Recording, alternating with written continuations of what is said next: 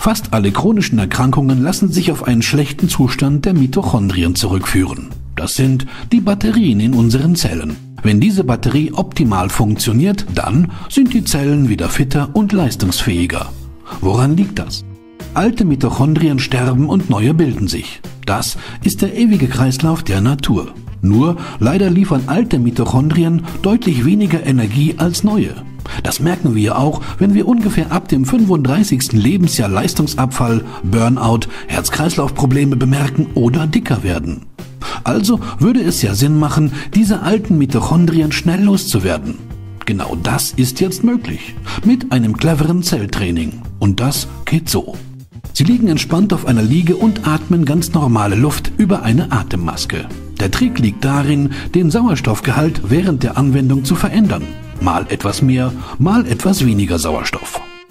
Das Resultat? Alte Mitochondrien kommen gewaltig unter Stress und sterben deshalb schneller ab. Parallel entstehen sehr schnell die leistungsfähigen, neuen und aktiven Mitochondrien.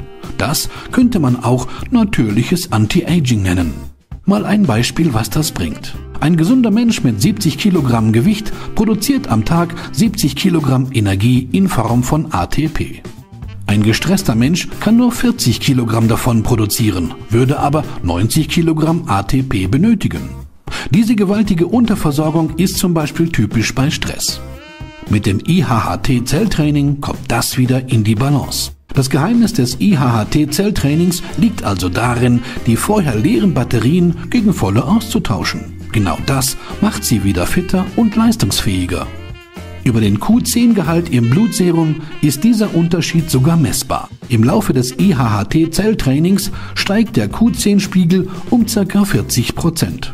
Und da Q10 nur dann steigt, wenn sich der Körper im Gleichgewicht befindet, ist der Q10-Spiegel ein wichtiger Hinweis für die Effizienz dieses Zelltrainings. Wenn Sie mehr darüber erfahren möchten, gehen Sie auf diese Website.